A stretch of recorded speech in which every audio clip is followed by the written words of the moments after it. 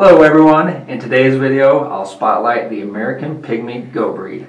Like the Nigerian dwarf goat breed, this achondroplastic goat breed hails from Africa, is much smaller than standard sized goat breeds, and is becoming ever more popular on hobby farms and homesteads. I'm Eric with the Hobby Farm Guys. Don't go away, the American Pygmy goat breed is coming up next.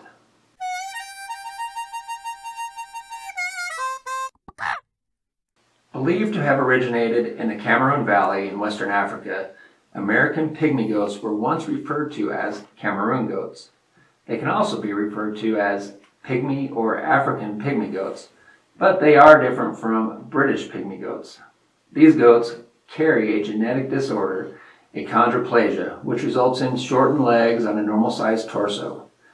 They were exported from Africa to zoos in Sweden and Germany where they were displayed as exotic animals, and by around the 1930s they began making their way to England, Canada, and the United States, often aboard ships as a food source for exotic animals such as tigers and lions. In 1959, the Roo family in California and the Catskill Game Farm in New York received the first documented shipments of pygmy goats from Sweden. By the 1970s, two distinct types had developed from these miniature African goats, one broad, compact, and solid like the original African stock, the other more delicate, much like a miniature dairy goat. The latter became the Nigerian dwarf, while the former became the American pygmy, for which a breed society was established in 1975 and a herd book started in the same year. American pygmy goats have a round, heavy bone structure and a well-muscled, stocky body. The barrel is broad and deep. Limbs and head are short relative to the body length.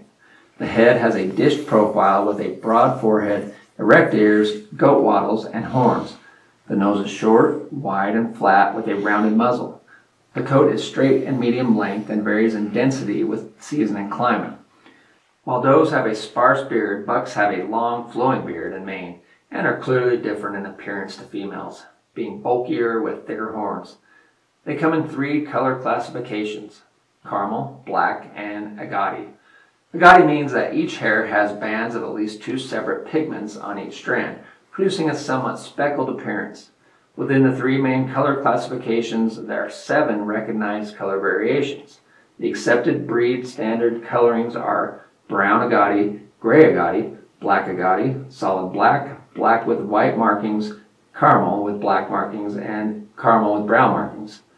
Males grow to 50 to 70 pounds and 16 to 23 inches tall, and females reach 40 to 70 pounds and 16 to 22 inches tall. Height is measured to the withers, or the highest point on the back. They have two-toed hooves, rectangular pupils, and a four-chambered stomach. Two-toed hooves help them to be agile climbers, while the rectangular pupils allow them to see 280 degrees around their bodies to scan for potential threats.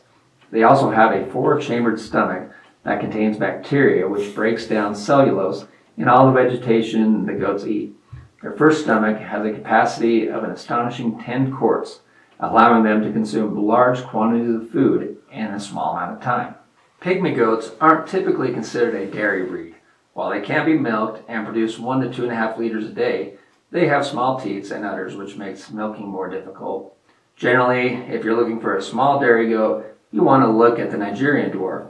But as a small meat goat, the American pygmy breed excels. Their thick muscles produce excellent meat compared to other miniature goat breeds. Often, this breed is simply kept as a pet. They don't require constant human companionship, but are typically very friendly.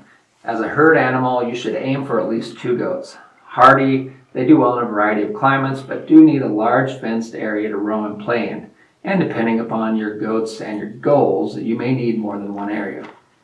Precocious and prolific non-seasonal breeders Estrus can occur at any time of the year. Puberty is common at 4 to 5 months, but can occur as early as 2 months. It's recommended to wait until the doe is 12 to 18 months old before breeding. She, she can then produce 1 to 4 young every 9 to 12 months, and twin births are common. Pygmy goat lifespan is generally 10 to 15 years. That's the American Pygmy goat breed. A cute beer keg on short cobbly legs. What are your thoughts on this breed? Leave a comment below and tell us what you think. Also, don't forget to click the like button and subscribe if you haven't already. Thanks for watching, and remember to keep on hobby farming.